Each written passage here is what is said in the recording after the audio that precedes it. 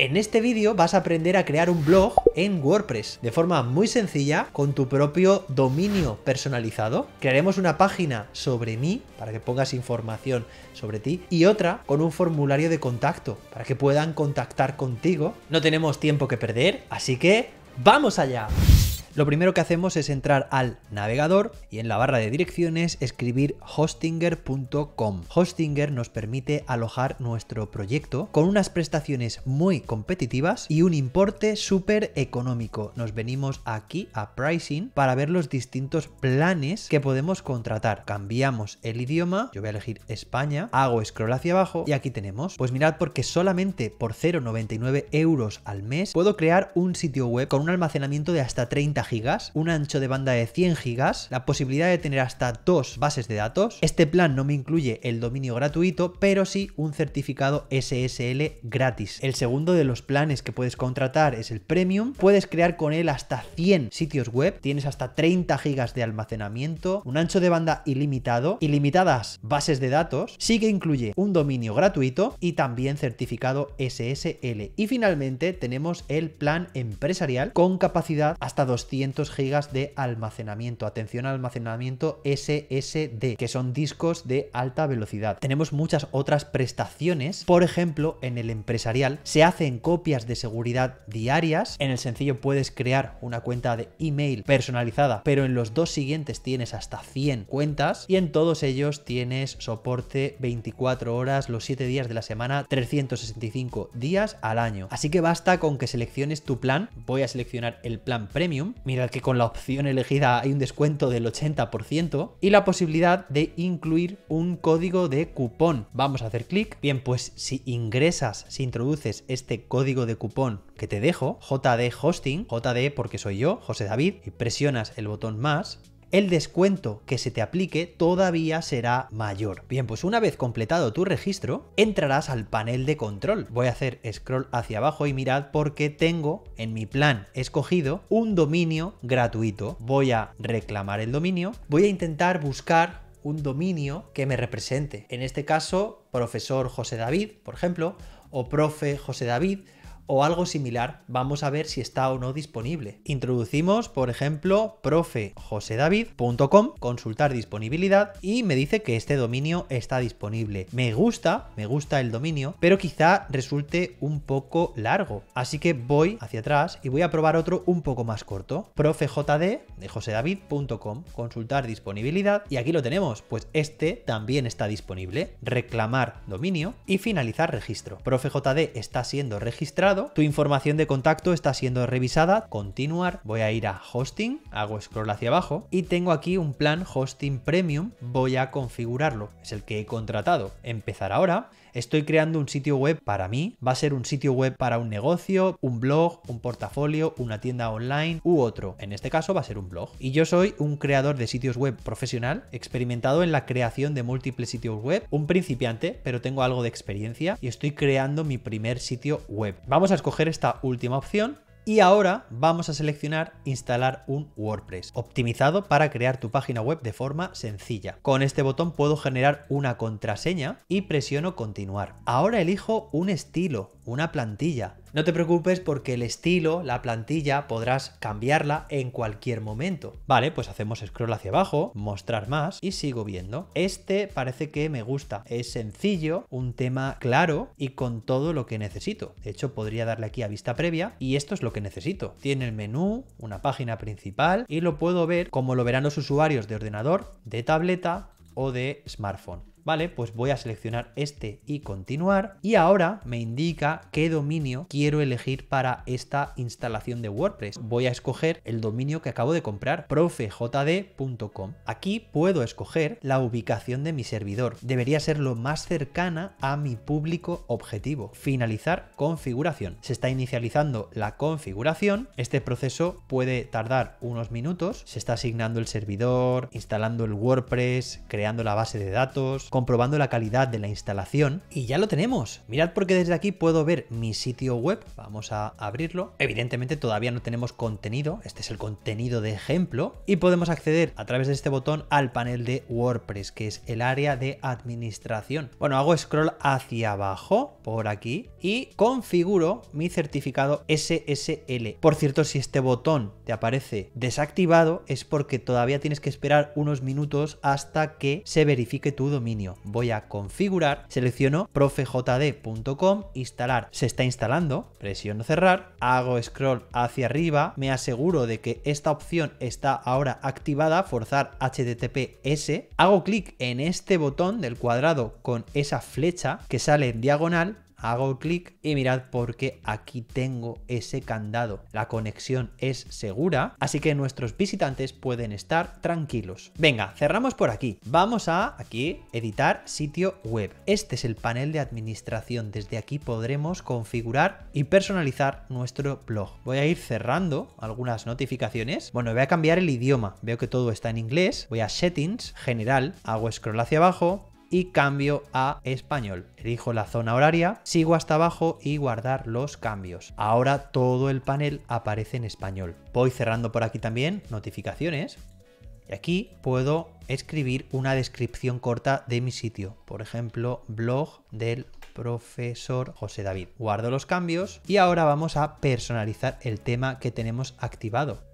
¿Qué opciones tenemos por aquí? Pues nos venimos a global, tipografía, podemos cambiar el tipo de letra, la familia de fuentes que se van a utilizar, por ejemplo, mirad cómo cambia, por supuesto. ¿Veis? La fuente, las variantes, el tamaño del texto. Lo puedo hacer más grande o más pequeño. Ahora lo he puesto tremendamente grande. Voy a dejarlo a un tamaño más pequeño. Como ves, muchas opciones para diseñar, por ejemplo, los encabezados. ¿Qué tamaño quieres que tengan? El tipo de letra, ¿vale? Vuelvo para atrás. Tenemos también la posibilidad de elegir paletas de colores. En este caso, mirad los detalles. Aquí aparece un detalle de color amarillo, ¿vale? Mirad los colores, en este caso también del botón. Si yo cambio a otro tipo de paleta, cambian todos los colores. Además, yo puedo escoger un color, por ejemplo este, y hacerlo más claro. Veis que el botón, el color de fondo del botón, también se modifica para personalizarlo al máximo. También podemos cambiar el color de fondo utilizando, como veis por aquí, un gradiente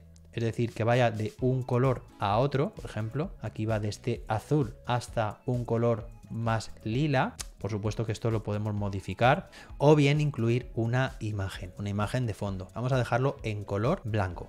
Siempre podemos ver cómo quedaría, esto sería en ordenador, en tablet o en teléfono móvil. Vale, vamos a publicar para que estos cambios surtan efecto. Vuelvo para atrás. Podemos ver más opciones para personalizar los botones. En este caso tenemos aquí botones. Podemos cambiar el color del texto. Podemos escoger otro color, ¿veis?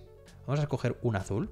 El grosor del borde, el radio, mirad, que sea el botón más cuadrado o más redondeado, la fuente del botón y los márgenes. Podemos personalizar el encabezado de mi sitio web, es decir, esta imagen, el logo, a continuación el menú principal, es todo esto, botón de búsqueda, search, este de aquí y finalmente un botón, el que yo decida. Todo esto siempre es configurable, completamente configurable. Por ejemplo, por aquí puedo poner destacado, una entrada destacada. Aquí pegaríamos el enlace a donde queremos que nos lleve este botón y aquí podemos cambiar su diseño. El color del texto normal, ¿vale? Por ejemplo, así rojo y cuando pasamos por encima. Mirad porque vamos a hacer este cambio. Cuando pasamos el ratón por encima, cambia el color de la letra y del fondo y esto lo podemos cambiar desde aquí, ¿vale? Vamos a hacer que, por ejemplo, se vuelva al pasar por encima de color amarillo y que sea de forma normal azul oscuro. De manera que al pasar por encima, mirad qué cambio. Esto es personalizarlo al máximo. Bueno, por supuesto que aquí en el encabezado podemos cambiar de sitio todo lo que queramos.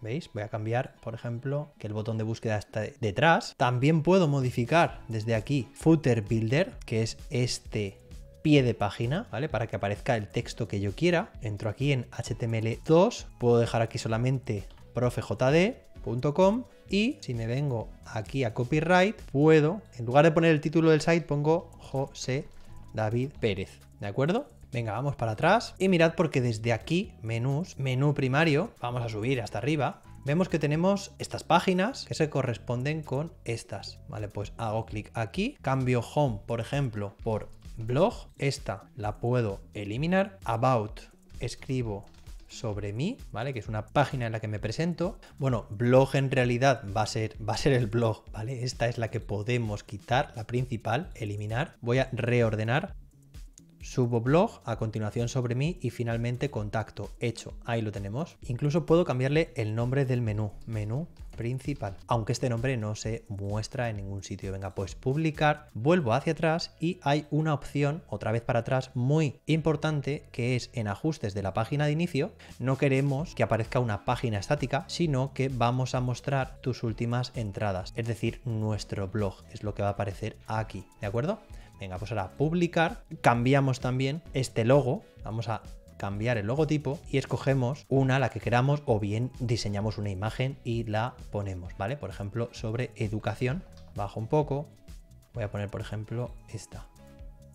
La guardo, la inserto, omitir el recorte y ahí está. Si quieres crearla tú desde cero, puedes abrir una nueva pestaña, entrar en drawings.new te creas aquí un cuadro de texto, pues voy a poner mis iniciales, JD, cambio el tamaño, poner 500, negrita, cambio el tipo de fuente y el color.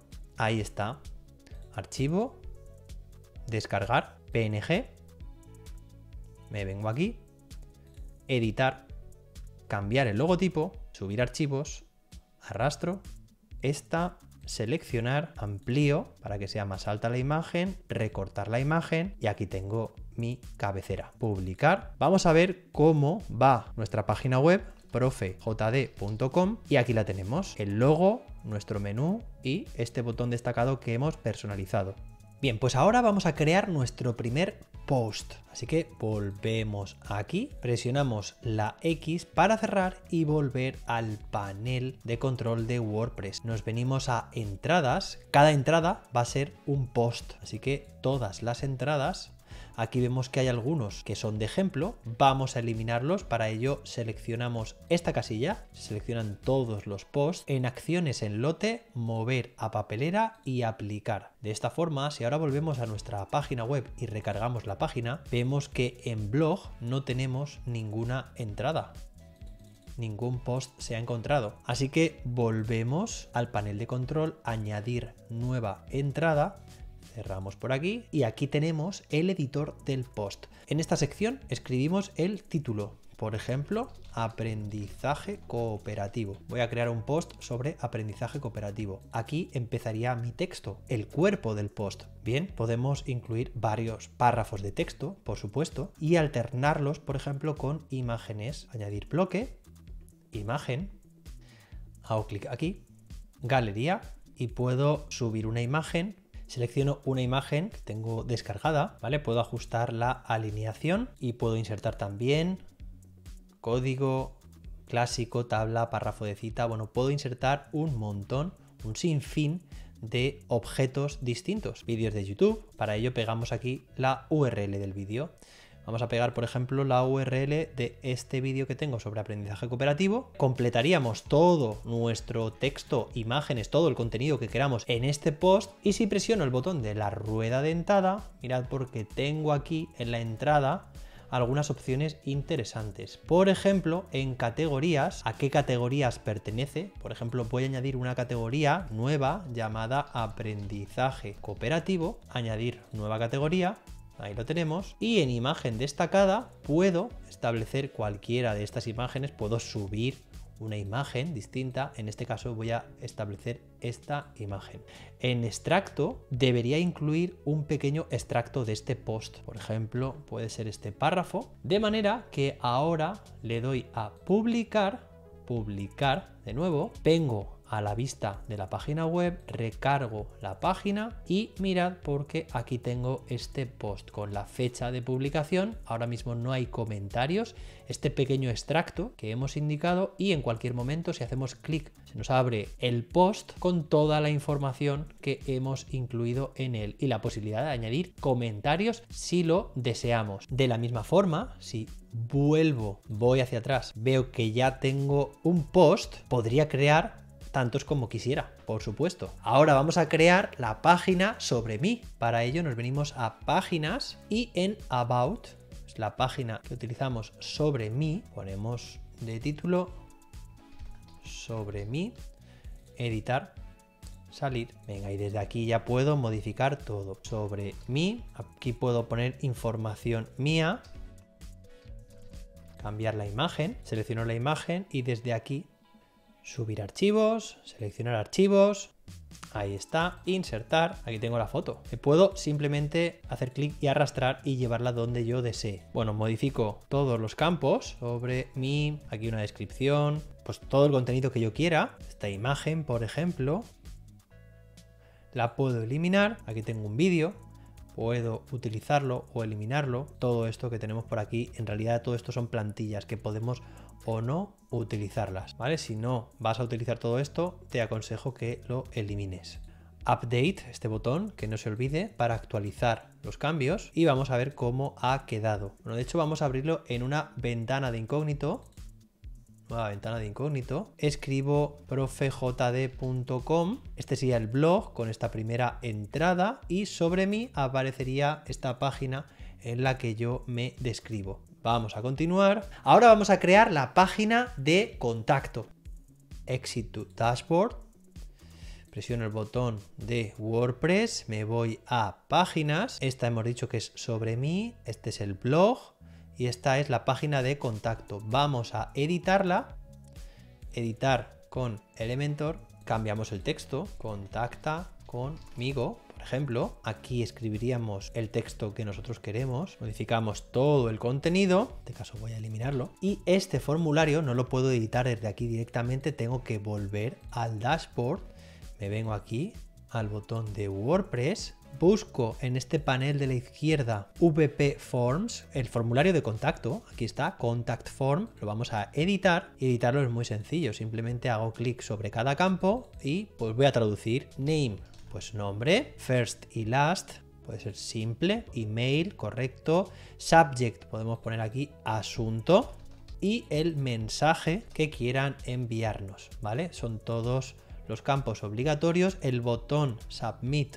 voy a cambiarlo, voy a poner aquí enviar y el mensaje cuando se está enviando, enviando. Ponemos la protección anti-spam, save, guardar. Venga, vamos de nuevo aquí a la previsualización del blog. ¿Vale? Entramos a contacto, contacta conmigo, puedes contactar conmigo si deseas contarme algo y aquí está ese formulario con los campos traducidos. Venga, pues nombre, vamos a hacer una prueba, José David, correo electrónico, asunto, prueba, mensaje, prueba, enviar, abro el correo electrónico y veo efectivamente que me ha llegado de José David con su asunto prueba, mensaje, prueba. Funciona correctamente. Como vemos aquí en el blog, la página del blog, tenemos algún texto y bloques que queremos quitar. ¿Vale? Para dejar solamente las entradas del blog. Para ello nos venimos a páginas y en blog editar. Bueno, aquí podríamos cambiar el nombre porque quisiéramos todos estos bloques, vamos a eliminarlos eliminar bloque, directamente aparece en las entradas del blog. Ahora sí, actualizar. Volvemos y mirad porque ahora si recargamos, bueno, vamos a hacerlo en la ventana de incógnito. Aquí está, blog y tenemos directamente nuestro primer post y no tenemos nada más porque lo hemos eliminado.